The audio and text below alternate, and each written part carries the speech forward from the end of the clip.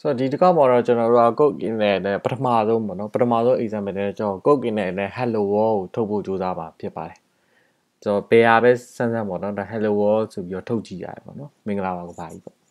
အဲ့ဒါထုံးစံပါပဲအဲ့တော့ကျွန်တော်တို့ကဘာလုပ်လဲဆိုလို့ရှိရင်ကျွန်တော်တို့ page တွေတော့ပြောခဲ့သူပဲဆိုတော့ကျွန်တော်ကဒီမှာတော့ htdocs out တယ်မှာကျွန်တော်တို့ရဲ့ mvc ဆိုတာရောက်နေပါပြီအဲ့ဒါလေးကို drag ဆွဲပြီးတော့ကျွန်တော်တို့က supply test ကို drop လုပ်လိုက်ပါမယ်ဒါကတော့အလွယ်ဆုံးပါ supply test နဲ့ ကိုယ့်ရဲ့ folder နဲ့ချိန်ဖို့ပေါ့နော်အဲ့တော့ကျွန်တော်တို့က supply test ရောက်သွားတယ်ပေါ့နော်အများကြီးဖြစ်နေကြာပါကျွန်တော်ပိတ်လိုက်ပါမယ် sorry ကျွန်တော်ပြန်ဖွင့်မှရမယ်ဟိုကျွန်တော်ဒါဖွင့်လိုက်ပြီးတော့ဒါပါပဲ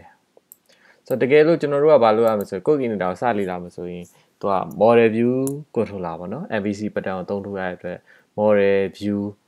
ရဲ့ controller ရဲ့နှစ်ပိုင်းပါပါ အဲ့ဒါတွေအားလုံးကို application folder အောက်ထဲမှာတွေ့နေပါတယ်ကျွန်တော်တို့ main folder အောက်က application folder အောက်မှာဖြစ်ပါတယ်အဲ့ဒီမှာကျွန်တော်တို့ကြည့်လိုက်လို့ရှိရင် model ဆိုတဲ့ folder ပါတယ် view ဆိုတဲ့ folder ပါတယ် controller ဆိုတဲ့ folder ပါပါတယ်ဆိုတော့ဒီမှာတော့သူက welcome ဆိုတဲ့ controller ရှိပြီးသားဖြစ်ပါတယ် welcome ဆိုတဲ့ controller ရှိပြီးသားဖြစ်တော့ကျွန်တော်တို့အနေနဲ့ဒီဟာကို modify လုပ်လိုက်အောင်ပါပဲ